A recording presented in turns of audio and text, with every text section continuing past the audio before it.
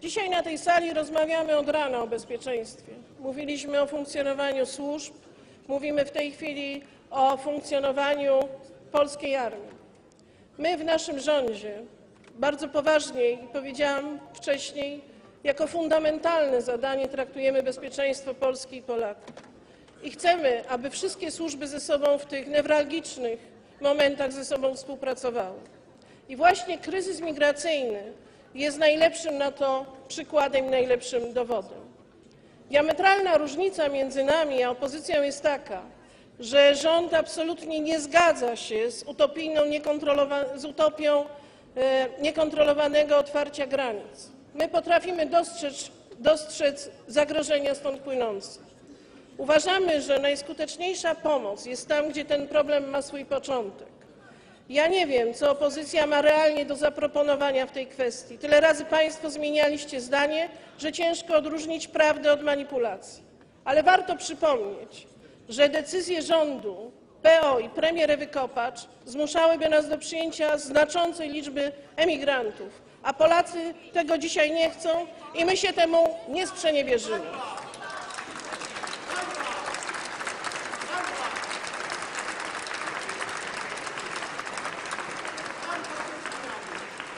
Tym bardziej chcemy pomagać i pomagamy i będziemy rozwijać pomoc humanitarną. Realizujemy międzynarodowe projekty, angażujemy się w pomoc w Syrii i w tam wszędzie, gdzie jest, ludzie tej pomocy potrzebują.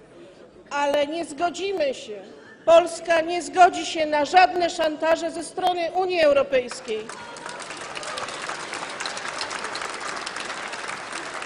Nie będziemy nie będziemy uczestniczyć w szaleństwie brukselskich elit. My chcemy pomagać ludziom, a nie elitom politycznym.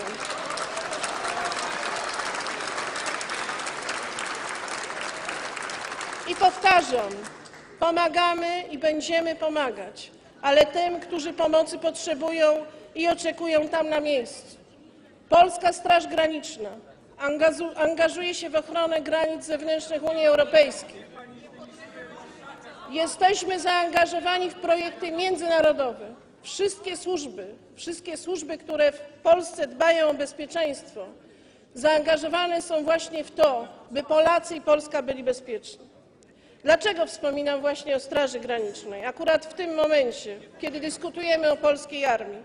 Dlatego, że dla nas budowanie bezpieczeństwa Polski to także skuteczna i efektywna współpraca pomiędzy poszczególnymi służbami. Traktujemy bezpieczeństwo Polski i bezpieczeństwo Polaków systemowo, a nie wybiórczo, tak jak państwo to robiliście. Ważne jest dla nas zarówno rozwijanie polskiej armii, jak i bezpieczeństwo zapewniane przez służby podległe panu ministrowi Błaszczakowi. Dziś, dzięki między innymi właśnie wysiłkom pana ministra Antoniego Macierewicza, Wojsko Polskie doskonale współpracuje z Policją, ze Strażą Pożarną czy ze Strażą Graniczną. I efekty tej współpracy widzieliśmy chociażby podczas perfekcyjnie przeprowadzonej akcji zabezpieczenia bezpieczeństwa podczas ubiegłorocznych Światowych Dni Młodzieży, które odbyły się w Polsce. Szanowni Państwo, bezpieczna Polska to wielkie zadanie. Nie wolno go wykorzystać do bieżącej politycznej awantury. Nie wolno tego robić, bo spokój i bezpieczeństwo obywateli nigdy nie może być zakładnikiem politycznego cynizmu. Dlatego chcę powiedzieć również i o tym, co jest dla mnie fundamentalne. Chcę powiedzieć o tym, co dzisiaj, szczególnie po tych wydarzeniach, które miały miejsce w e, Manchesterze, po kolejnym ataku terrorystycznym, kiedy zginęli niewinni ludzie, a teraz to terroryści posunęli się o krok dalej, bo uderzyli w najbardziej niewinnych i bezbronnych, uderzyli w dzieci. Chcecie się na to zgodzić? Chcecie doprowadzić do tego, by Polska była bezbronna? Dzisiaj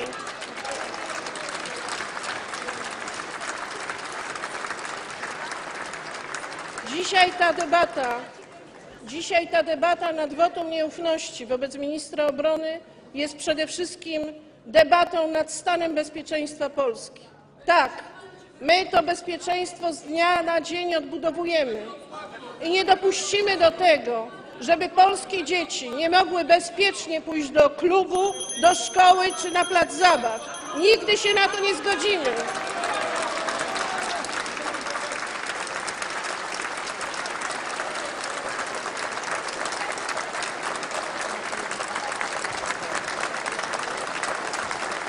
I mam odwagę, mam odwagę powiedzieć i mam odwagę zadać elitom politycznym w Europie pytanie, dokąd zmierzacie? Dokąd zmierzasz Europo? Powstań z kolan i obudź się z letargu, bo w przeciwnym razie codziennie będziesz opłakiwała swoje dzieci. Jeżeli nie dostrzegacie tego, jeżeli nie dostrzegacie tego, że dzisiaj zagrożenie terrorystyczne jest faktem, który każdego dnia może dotknąć każde państwo w Europie i uważacie, że Polska nie powinna się bronić, to idziecie ręka w rękę z tymi, którzy wymierzają tą broń przeciwko Europie, przeciwko nam wszystkim.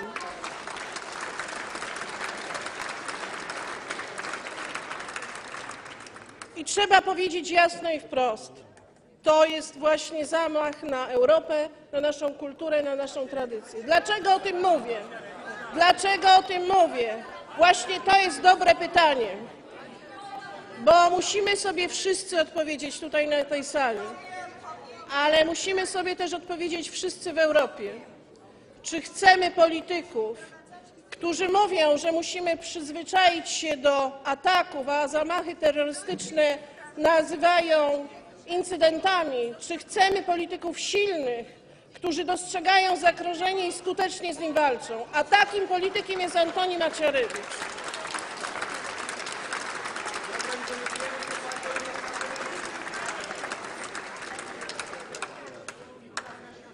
Nie damy się zaszantażować i nie ulegniemy, nie ulegniemy poprawności politycznej. Czas wreszcie powiedzieć sobie jasno, że Polska będzie bezpieczna wtedy, kiedy będzie miała silną armię, kiedy wszystkie służby będą odpowiednio przygotowane i wyposażone do tego, by bronić bezpieczeństwa Polaków. I wtedy, jeżeli będziemy my, politycy, odpowiedzialnie dostrzegali zagrożenia i nie będziemy spierać się o to, co jest fundamentalne i najważniejsze dla naszych rodaków, o bezpieczeństwo, nie ma nic cenniejszego niż wolność ojczyzny i bezpieczeństwo naszych rodaków.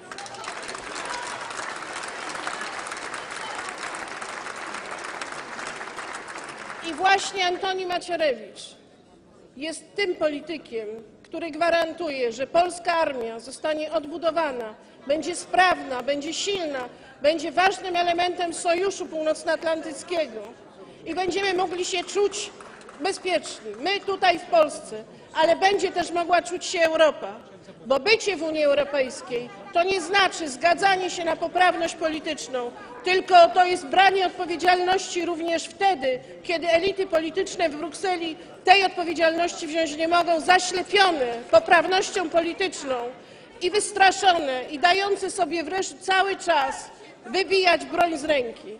My się na to nie zgadzamy. I wszędzie, i tutaj nad Wisłą, i w Brukseli, w każdym innym miejscu będziemy powtarzali to, że musimy dbać o bezpieczeństwo, bo ono jest fundamentalne.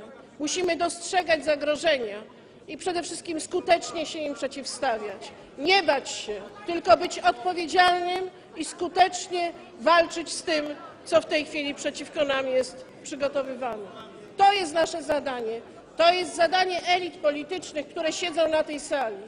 Dlatego oczekuję od Państwa odpowiedzialności. Nie w imię tego, nie w imię sondaży, które tak bardzo Was absorbują, ale w imię bezpieczeństwa Polski i Polaków. Dziękuję bardzo.